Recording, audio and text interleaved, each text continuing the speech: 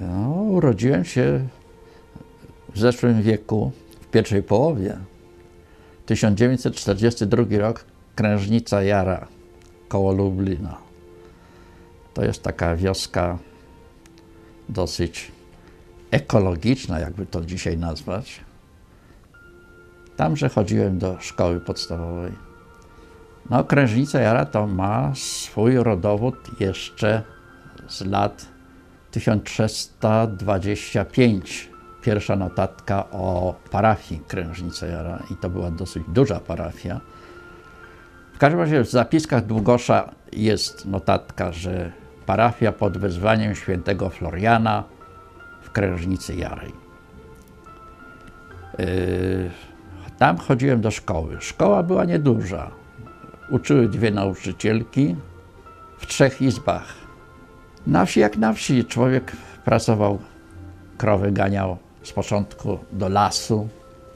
Miałem takie zainteresowania, że zbierałem niewypały. Jak to po wojnie. Zenitówki takie dosyć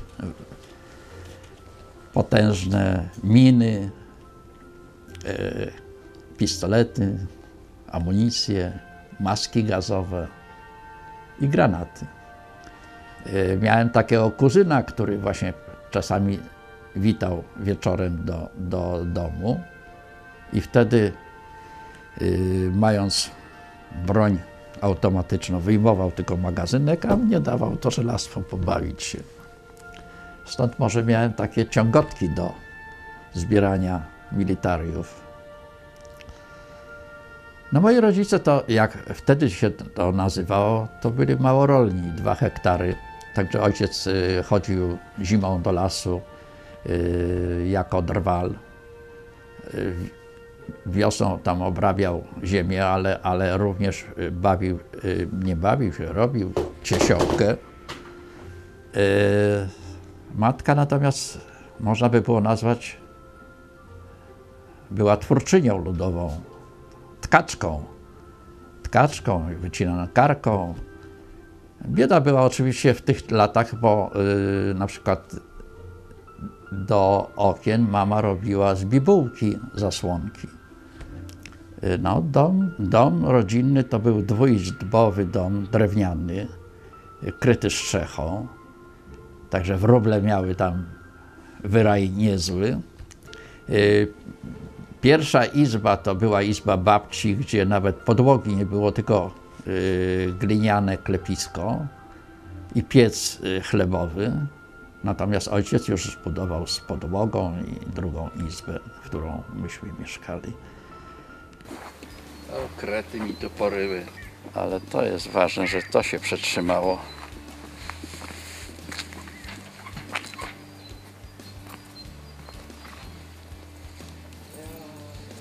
A sójka swego czasu tu w świerku się zagnieździła. Pleszka albo czasem pleszka, a czasem kopciuszek to jest podobna rodzina.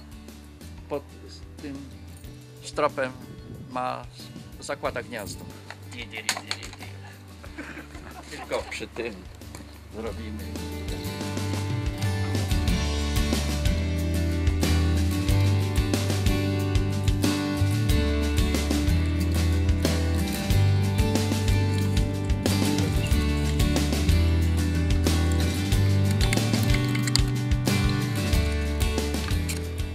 Grusza Grusza. No i co tam masz? na tej gruszy. Y, Mazurki miały gniazdo swego czasu. Lubię y, trochę pogrzebać w ziemi, odpocząć, posłuchać jak ptaszki śmigolą. O, to jest to, to jest trochę własnego kątka, własnej zieleni, trochę kwiatów. Ten kawałek zieleni to mi trochę przypomina strony rodzinne. Ta trawa, te ptaszki, mazurki ćwierkające, to grzebanie w ziemi, to jest to, jest to co przyjem, sama przyjemność. I często wspominam tutaj swoje lata dzieciństwa, a na tej werandzie piszę wiersze.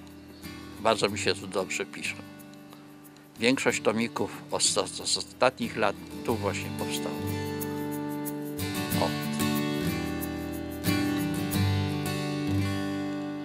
Szkoła plastyczna była dla mnie to zaskoczenie dla wiejskiego chłopaka, bo to miasto. Mieszkałem na ulicy Szkolnej, a na Grodzką miałem dosyć blisko. To było w Lublinie, przechodziłem przez Plac Zamkowy, przez y, targowisko. Pięcioletnia szkoła. Ciężko się y, wtedy zdobywało tą wiedzę, bo dzisiaj ludzie mają dostęp do kolorowych albumów, do wielu wystaw. Wtedy w Lublinie na Narutowicza było biuro wystaw artystycznych, to tam często bywałem i w Empiku. Natomiast y, jeśli chodzi o y, historię sztuki, no to wypożyczano filmy y, wąskotaśmowe i puszczano tego typu rzeczy. W szkole plastycznej oczywiście dyrektor, rzeźbiarz Eugeniusz Baranowski. Tamże poznałem znanych aktorów, którzy uczyli recytacji, tudzież innych rzeczy, takich jak y, Mikulski, Macholski, Danuta Nagórna. Tam poznałem takiego kolegę, który tutaj czasem wystawia Stanisława Mazusia, a wtedy go poznałem z recytacji Reduty Ordona. Znakomicie to robił. Po ukończeniu liceum plastycznego oczywiście chciałem się dostać na wyższą szkołę. Oczywiście dostałem się na wyższą szkołę do Warszawy, ale nie dostałem dziekanki. Stąd był problem z zamieszkaniem. Y, tam miałem ciotkę. Niestety ciotka nie przyjęła mnie na stację i zrezygnowałem. Ojciec powiedział, że nie stać go na łożenie na moje studia. Wobec tego bardzo szybko postarałem się, żeby mnie wzięli do wojska, bo wiadomo było to już po pięcioletniej szkole i po tym. No i w wojsku chętnie mnie przyjęli. Propon nawet proponowali mi dwa miejsca, yy, Kętrzyn albo Kostrzyn. Wybrałem ten Kętrzyn. Tam się dostałem do podchorążówki, ale z podchorążówki szybko uciekłem do kompanii obsługi nie chciałem być podchorążym, ponieważ y, taki kolega opowiadał mi, że jego ścigają nawet dwa razy w roku na ćwiczenia. A to mi nie odpowiadało. I zdawałem później już nie do Warszawy, a do Krakowa. I w Krakowie przepadłem. Ponieważ w Puławach powstawały zakłady azotowe, więc było o wiele łatwiej o pracę, tam pojechałem do Puław Dwa lata pracowałem w zakładach y, azotowych, a później przeniosłem się do Powiatowego Domu Kultury. W tymże czasie y, bardzo ciekawie było przyjęcie mnie do pracy w kulturze, ponieważ pan Eugeniusz Wieczorek, znany tutaj też, wziął mnie na spytki i o wszystko pytał, nie tylko o plastykę, ale i o muzykę, i o teatr, i o literaturę. I w, tymże, w tychże pułapach pracowałem lat 15. Tam założyłem klub plastyka amatora, później kto inny to przejął. Tam się opiekowałem klubem twórców ludowych i klubem kolekcjonera. Y, po oddaniu klubu plastyka komu innemu, założyłem grupę plastyczną Absolwent razem z panią Marią Kapturkiewicz-Szewczyk i Zbigniewem Pieleszkiem. To nazywała się Grupa Plastyczna Absolwent. Tworzyliśmy trzon tej grupy i zapraszaliśmy innych autorów z Lublina, z Radomia, z okolic i wystawialiśmy także Puławach, w Warszawie, w Lublinie gdzie się dało. Moje y, zainteresowania literaturą, a szczególnie poezją, to już zaczęły się w latach licealnych, czyli w liceum plastycznym, ale nikomu tego nie pokazywałem. To były nieudolne próby. Gdzieś tam w urodziny znalazłem zeszyt, trzymają to niepotrzebnie. To takie popłuczyny by, były. Pisałem, od czasu do czasu pisałem. E, wreszcie w latach, w latach 80. odważyłem się to pokazać kolegom w Puławach. Pojechałem ze swoimi wypocinami i taki łomot dostałem, że nie wiedziałem, jak się nazywam. Od y, Pawła Gębala i Bogdana Zadury. Szczególnie Bogdan Zadury, Zadura mi tam nawciskał co, co niemiara. Ale mimo wszystko to mnie nie zniechęciło. Pisałem dalej. Przeszedłem na bardzo krótkie formy, zwięzłe. Trochę ćwiczyłem haiku, trochę tanka, trochę inne rzeczy. W Zielonej Górze pojawiam się w roku 79, w połowie grudnia. Podejmuję pracę w Zielonogórskim Ośrodku Kultury. Po roku czasu przechwytuje mnie pan Gruberski z Wojewódzkiego Domu Kultury, bo był, potrzebny był plastyk do wykonania potężnej wystawy pana Łuniewicza. Tam w Wudeku zajmowałem się plastyką. Trochę się czułem tutaj obco, ale jakoś tam zaaklimatyzowałem się w tej Zielonej Górze i już jestem ponad 30 lat. Moja twórczość literacka zaczęła się od przekładów w zasadzie. W roku 1985 wysłałem swoje przekłady poezji gruzińskiej do miesięcznika Poezja. I tam zamieszczono mi kilka wierszy. Z tą gruzińską poezją to były wielkie kłopoty. Oczywiście poznałem takiego Gruzina, który się nazywał Leszek Giersztenblit. No, poznałem innych, ale, ale on mi przysyłał książki, czasopisma. Y, mocno nad tym siedziałem, głowa mi puchła. Rok czasu poznawałem literki. A ponieważ nie stać mi było na wyjazd do Gruzji, dałem sobie z tym spokój i tego już nie czynię. Natomiast moja pierwsza publikacja to był Węzeł Serdeczny, zbiór takich miniatur w roku 1996, także bardzo późno. A później już się posypały następne. Później było Lato Zimorodka, bardziej takie klasyczne wiersze i tak dalej, i tak dalej. Także w sumie do tej pory wydałem ponad 10 pozycji. Jeśli chodzi o twórczość plastyczną i literacką, jakiś taki wspólny mianownik był w czasach puławskich. Moje, moje rysunki to nieomalże były ilustracje. Bardzo takie opowiadające. Natomiast y, tu jak przyjechałem, no to malowałem malarstwo olejne, akwarele, różne rzeczy wykonywałem robiłem projekty dla y, pań z, z sekcji tkactwa artystycznego. Pomagałem im w tym. Natomiast y, już w Ercaku, to już lata po 2000 roku, były robione warsztaty papieru artystycznego, które prowadziła Agata Buchalik-Drzycka. Oczywiście, żeby dojść do tego, co, co w tej chwili robię, to musiałem tam przegryźć trochę samemu, bo nie, nie wszystko ona pokazała. Ona robiła raczej monochromatyczne rzeczy, a ja próbowałem i w takich y, układach roślinnych, i, i papierowych, i tak od siedmiu lat robię właśnie papier tak zwany artystyczny, papier czerpany. Po zaniechaniu tłumaczenia poezji gruzińskiej, będąc swego czasu w Pradze z wycieczką ludzi kultury z Zoku i Ercaku, wszedłem do księgarni i przypadkowo spotkałem taki tomik poety czeskiego.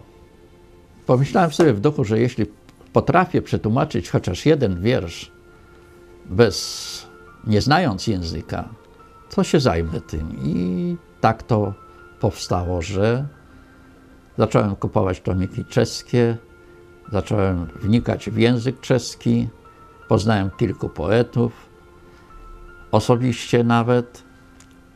I tak tłumaczę to do tej pory. Od czasu do czasu coś tam puszczę do prasy, coś wydam. Jeśli chodzi o przenikanie do moich wierszy świata natury, to wzięło się to stąd, że może jako wiejski chłopak miałem do czynienia na co dzień z naturą. Teraz też, chodząc na spacer z psem do lasu, wysłuchuję różnych śpiewów ptaków i codziennie spotykam takie gatunki jak sikory, sroki, sójki, to, to, to, tego, to, tego jest tu multum, ale i kowaliki i dzięcioły różnych gatunków. Wiersz był poświęcony bratu Januszowi, już nie żyje niestety. Fragment wiersza brzmi tak. W soczystej zieleni wilga gniazdo wije, paszkot krople liczy. Zadziwiona dzierżba spogląda z ukosa na owocobranie. Także napotkane ptaki czasem mnie y, pobudzają do napisania y, wiersza. Chodzę z tym, noszę się i, i, i w końcu jakoś to z siebie wydobywam. Zielonym do góry wydałem 10 lat temu zbiór, taki drobny zeszycik limeryków. A limeryk to uważam, że może pisać każdy.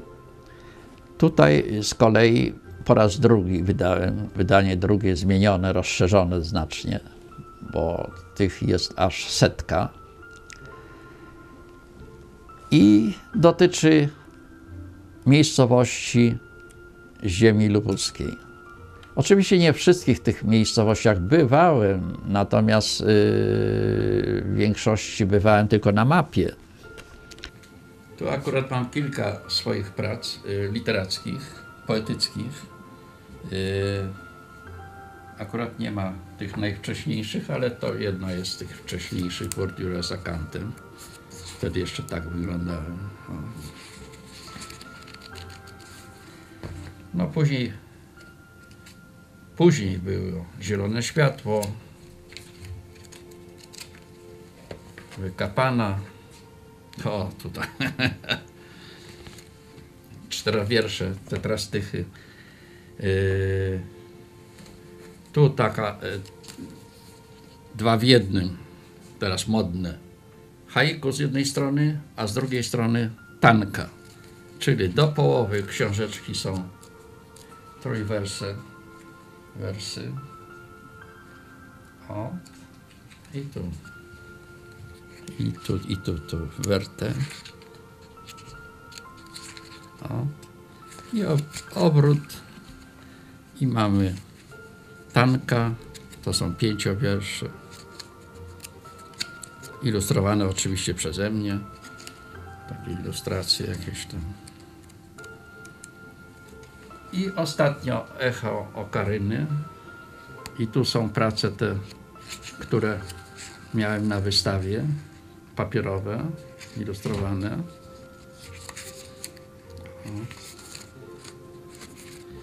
I tu też poświęcone tym ludziom. O, i ostatnia pozycja, która tutaj była zielonym do góry. Setnik, setnik limeryków lubuskich. A teraz będę prezentował tą książkę właśnie w rodzinnej wsi w Krężnicy Jary, poświęcona pamięci moim nauczycielkom. Tworzenie y, prac tych obrazowych, czyli papieru w tej chwili, gdzie tak mocno się zaangażowałem, tak mnie absorbuje, że wtedy nie piszę. Jeśli robię serię jakichś prac, wyczerpuję to, oddech i wtedy biorę się za pisanie z kolei. Tak to bywa. Prace plastyczne organizuję sobie, mniej więcej mam zamysł jakiś, co chcę zrobić.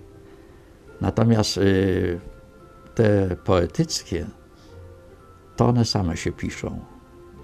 I jeśli wydaję tomik, to sięgam do wcześniejszych różnych rzeczy i zbieram na zasadzie podobieństwa, żeby jakoś skomponować.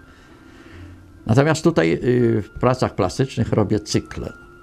To mi najłatwiej wychodzi i pogłębiam pewien temat czy sposób robienia. Twoje Ponieważ już jestem w podeszłym wieku, to za bardzo takich planów y, na przyszłość nie mam. Ale marzy mi się, żeby jeszcze wydać ze dwa, trzy tomiki. Mam taki temat trochę związany z nocą, trochę, trochę, trochę z ciemnymi kolorami. I taki tomik chciałbym wydać. Y, Natomiast jeśli chodzi o prace plastyczne, no to to, no jeszcze chciałbym pokazać parę rzeczy swoich.